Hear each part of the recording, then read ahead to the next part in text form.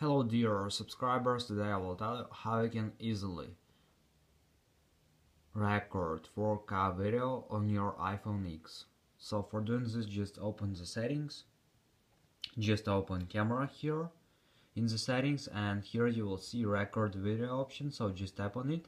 And now you can see uh, different options. So here you will see 4K at 24 fps 4K at uh, 30 fps and 4K at uh, 60 fps so just choose what you want. So for example this one 30 fps and now you can see that we successfully changed our record video to 4K so this is the way how you can do it. So thanks for watching. Have a nice day. Subscribe to my channel. Click like.